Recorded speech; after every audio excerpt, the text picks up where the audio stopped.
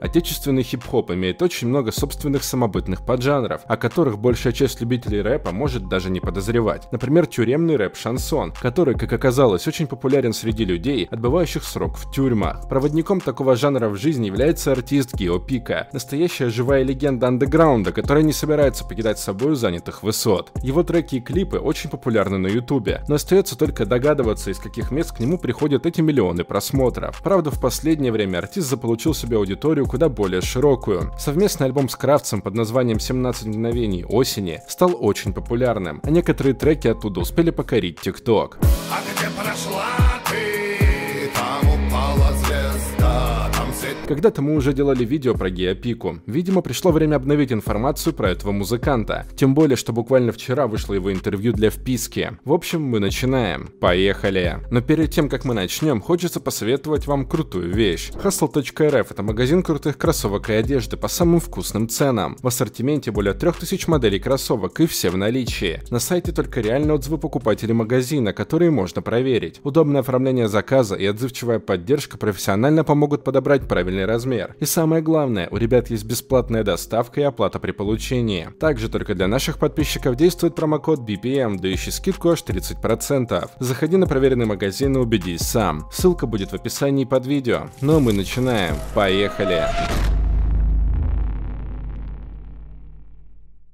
Начнем сразу же с цитаты музыканта, касающейся истории происхождения его псевдонима. Правда, еще до этого он получил кличку Пиковый. Вот цитата артиста. «Самая близкая криминальная идеология, к которой я принадлежал, это были карты. Я не скажу, что был шулером, просто меня в детстве эта тема очень увлекала. Я постоянно ходил с картами, и был прикол про пикового валета. А потом, когда наш жанр вышел в шансоновую идеологию, из-за того, что я не русский, стали называть геопика. Я вообще очень большой противник оружия и никогда не ходил ни с ножом, ни со стволом. Скажем тут пару слов об излюбленной теме рэпера, а именно тюремной романтике. Его увлечение тюремной темой, которая является основной в творчестве музыканта, началось с детства. Парень читал исторические хроники об истории создания СССР. Потом начались лихие 90-е, война в Грузии. Молодой человек сам столкнулся с криминалом, когда после переезда в Сыктывкар бывшему врачу пришлось заниматься перевозкой грузов и работать в шашлычной. Гео сегодня настолько популярен среди заключенных, что ежегодно получает от фанатов из тюрем подарки ручной работы. Ножи, нарды, четкие портреты. Причем посылки приходят как из России, так и из Беларуси и Казахстана. У артиста уже собралась целая коллекция. Гео понимает свою целевую аудиторию. Он даже планировал сделать благотворительный тур по тюрьмам России. Но, как говорит сам рэпер, ему намекнули очень прозрачно, что эту идею надо оставить. Но певец не отказался от плана и надеется его реализовать в будущем. Вот цитата артиста, но не из вписки, а из более раннего интервью. У меня рэп криминального характера. Даже не криминального, а тюремного. Каким еще может быть северный рэп, по-твоему? Про сосны? У меня есть трек о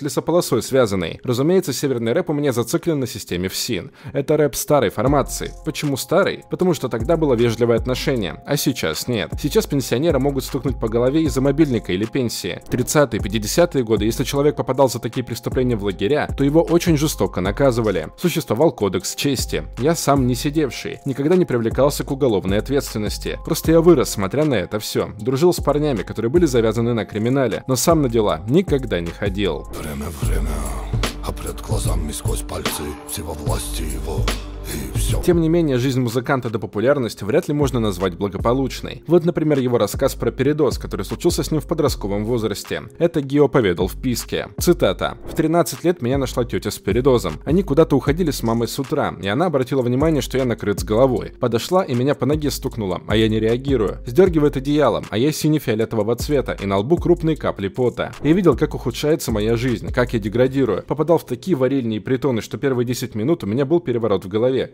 Черт, где я? Я выскочил 22 года, на сухую, без реабилитации. Настоящее имя рэпера Гео Джиоев. Будущий артист родился 8 мая 78 года в Тбилиси. По национальности он осетин. Мальчик воспитывался в семье музыкантов. У него был строгий отец и старший брат, который часто замещал родителей и нагружал парня делами. Придумывал тому задания. Он посещал музыкальную школу, ходил на вокал, в секцию борьбы. Отец и мать пытались с детства привить сыну любовь к музыке и все для этого делали. Однако юношу больше привлекала дворовая жизнь. Парень постоянно постоянно пытался выбраться гулять и только на улице чувствовал себя в своей тарелке. Из-за грузино-южно-осетинского конфликта семья рэпера часто переезжала. Из Грузии они отправились в Северную Осетию, а уже оттуда в Москву. Вот еще одна цитата музыканта про детство. У наших старших был такой прикол. Могли стравить мелких и поставить деньги или поход в ресторан. Я выигрывал всегда. Прислушивались мы только к бандитам. Наша волна несет в этот город наш рэпак.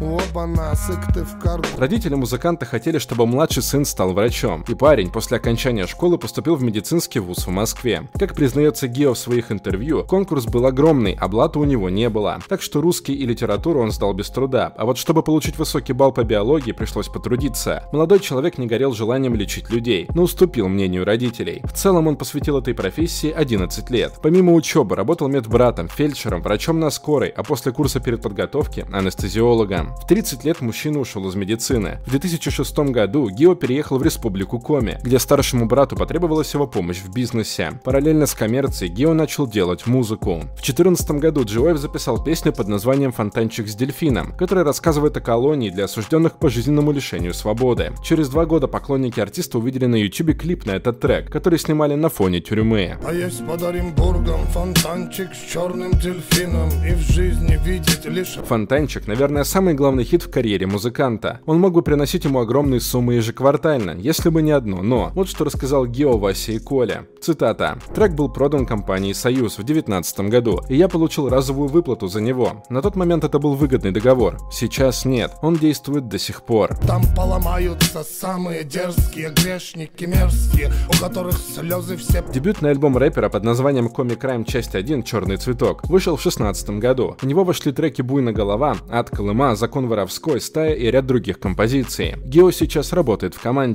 Музыку для песен часто пишет битмейкер DRZ. Парни вместе начинали в этом составе и продолжают трудиться так по сей день. Иногда работают с другими ребятами, отвечающими за звук. Как признается Пика, его музыка пользуется большой популярностью в тюрьмах и по сей день.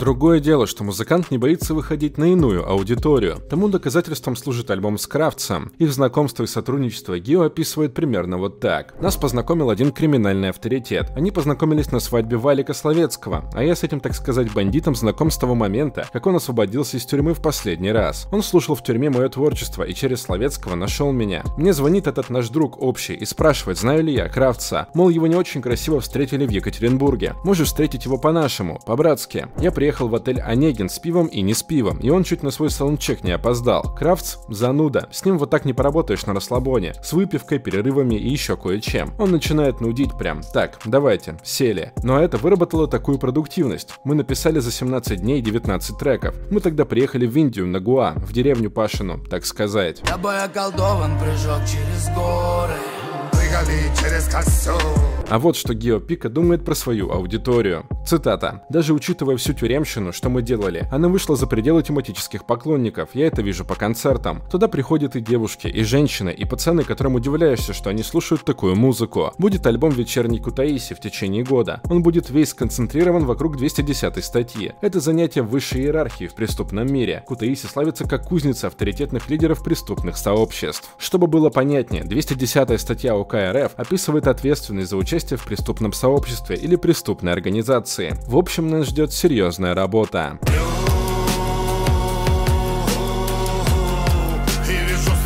А на сегодня у нас все. А что вы думаете о творчестве Геопики? Пишите свое мнение в комментарии, ставьте лайки и подписывайтесь на канал. Всем пока!